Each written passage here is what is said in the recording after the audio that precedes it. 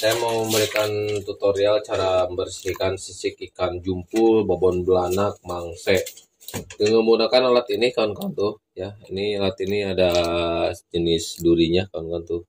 Alat ini ya bagus sekali untuk menyisik ya, menyisik ikan atau membuang membuang sit sisik ikan ya. Kalau dengan pisau itu jelek kawan-kawan susah banget tuh. Kalau itu susah banget kawan tuh.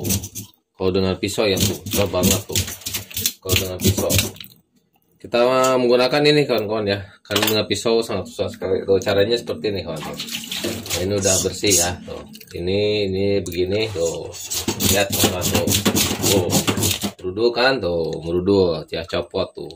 Dan dengan alat ini sangat mudah sekali kawan-kawan. Tuh mudah banget kawan-kawan tuh. Terkelupas sisik-sisikannya mudah terkelupas tuh. Selesai kawan-kawan tuh